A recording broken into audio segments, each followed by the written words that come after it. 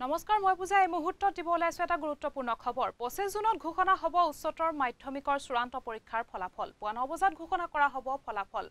ফলাফল ঘোষণাৰ পাছতে ছাত্ৰ ছাত্ৰীয়ে লাভ কৰিব মাৰ্কশ্বিট আৰু চাৰ্টিফিকেট। ৱেবছাইট যোগেদিও লাভ কৰিব পাৰিব ফলাফল। ওঠৰটা ৱেবছাইটত উপলব্ধ হ'ব পৰীক্ষাৰ ফলাফল। এইবাৰ পৰীক্ষাত অৱতীৰ্ণ হৈছিল মুঠ দুই লাখ ছয়ত্ৰিছ হাজাৰ আঠশ নগৰাকী শিক্ষাৰ্থী।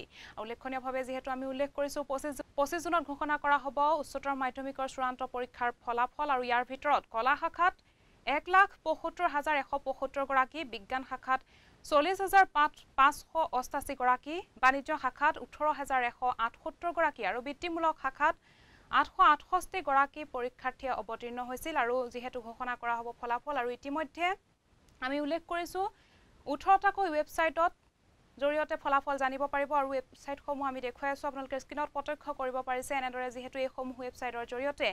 এইসমূহ ৱেবছাইট লগ ইন কৰি ফলাফল লাভ কৰিব পাৰিব আৰু যিহেতু পঁচিছ জুনত ঘোষণা কৰা হ'ব ফলাফল আৰু এই কথা উল্লেখ কৰিছে। মাজেদি আমাৰ শিক্ষক শিক্ষকসকলে এইবাৰ কাম কৰিছে।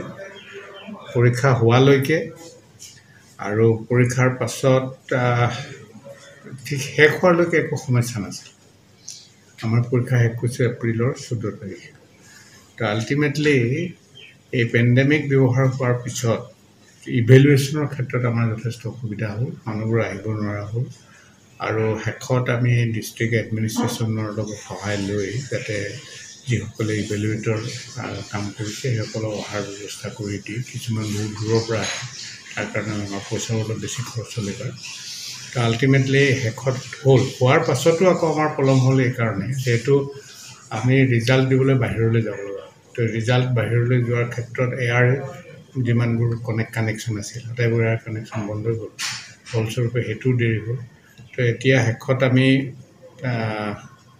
ইভেলুৱেশ্যনৰ হোৱাৰ পিছতো আমি যথেষ্ট কেইদিনমান ৰ'ব লগা হ'ল। এতিয়া আটাইবোৰ কথা ঠিক কৰা হৈছে। আমি পঁচিছ জুনত আগৰ আগেয়ে যেনেকৈ আমি ৰিজাল্ট দিছিলোঁ। এইবাৰো একে হ'ব বুকলেট থাকিব মাৰ্কশ্বিট চাৰ্টিফিকেট লগে লগে যাব। তেওঁলোকে ইনষ্টিটিউশ্যনবোৰৰ পৰা কেনেদৰে কেনেকৈ ল'ব কৰোণাৰ এণ্টায়াৰ সকলো কথাখিনি মেইনটেইন কৰি ছ'চিয়েল ডিষ্টেঞ্চিং ইটো সিটো গভৰ্ণমেণ্টে যিবোৰ আদেশ কৰিছে সেইবোৰ মানি তেওঁলোকে কৰিব পাৰিব। জুলাইত কম্পিটিটিভ পৰীক্ষাবোৰ তো আল্টিমেটলি আমাৰ ল'ৰা ছোৱালীয়ে নিজে ইকুইপ হ'বৰ কাৰণে যি যি লাগে ডকুমেণ্টেশ্যন আটাইবোৰ পাব। আৰু তেওঁলোকে পৰীক্ষাটো এপিয়াৰ হ'ব পাৰিব ভালদৰে তাৰ বাহিৰে এইবাৰ এডুকেশ্যন টাইমটো কেতিয়াৰ পৰা আৰম্ভ হ'ব বৰ্ষটো সেই সম্পৰ্কে গভৰ্ণমেণ্টৰ লগত আলোচনা কৰিবলৈও আমি ডেক্লেয়াৰ কৰা উচিত নহ'ব। আমিতো পাৰিলে জুলাই আগষ্টতে কৰিব বিচাৰিম যদি তেওঁলোকে সুযোগ দিয়ে আমি এইটো কৰিম। আৰু যিমান বেছি ভয় খাইছে ভাইৰাছৰ কাৰণে বহুত বেছি বেছি ধৰণেৰে কৰাও হ'লতো। পাব্লিচিটিটো যিমান দৰে কৰা হ'ল মানুহে বহুত ভয়ো খালে।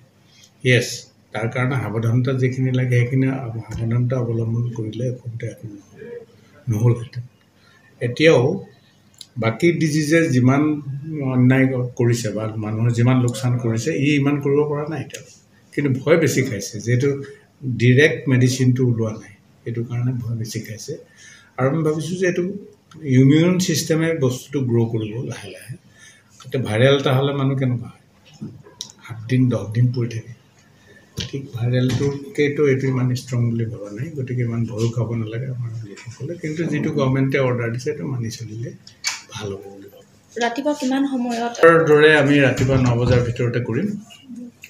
আমাৰ ষোল্লটা নে ওঠৰটা ৱেবছাইট আছে আপোনালোকে এইটো লৈ যাব পাৰিব। এই ৱেবছাইটকেইটাত আমি হেৰি কৰোঁ যাব। আৰু